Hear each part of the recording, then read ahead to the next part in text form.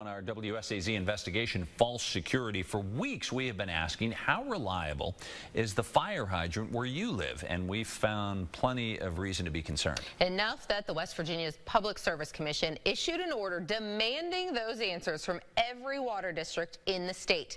Tonight was the deadline for districts to submit that data. News Channel 3's Curtis Johnson has a look at what that information revealed. Two fires, not enough water destroying this Pizza Hut in Danville, and a year later, this house in Charleston. Firefighters saying they were met by hydrants not able to do the job. Have you made contact with the water company and figured out anything of why all these hydrants have no pressure? Our WSAZ investigation into the problem found both of those hydrants were on a water main that firefighters say is just too small to provide the water needed to fight fires. When we took that issue to the company, responsible for those hydrants and more than 11,000 others statewide, West Virginia American Water, the company's president could not give us answers. Do you know which hydrants are on what size mains?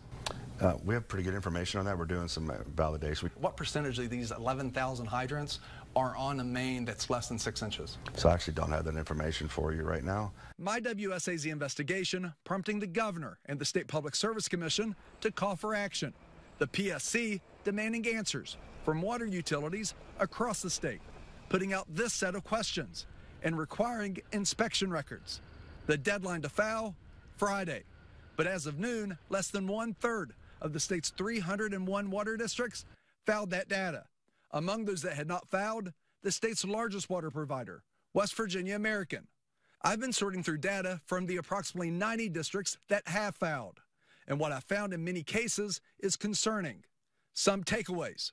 Most water utilities do not have written maintenance practices. About half have some hydrants on small water mains. That's a story for about one out of every five hydrants in Milton. And while most say they inspect some hydrants each year, less than half provided proof of those inspections.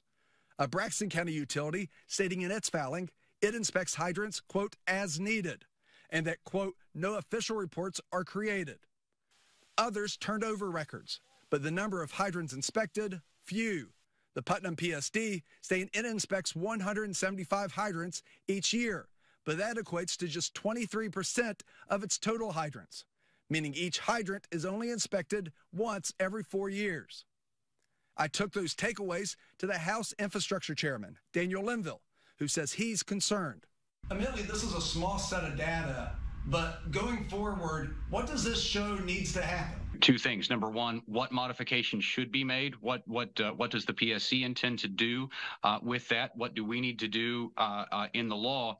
And then secondarily, we're going to have to look at what resources are necessary. Tim, Martina, those answers were due by 5 p.m. this evening. As for West Virginia American Water, its response arrived about 4:30, but it was listed as confidential, meaning we can't see what they found.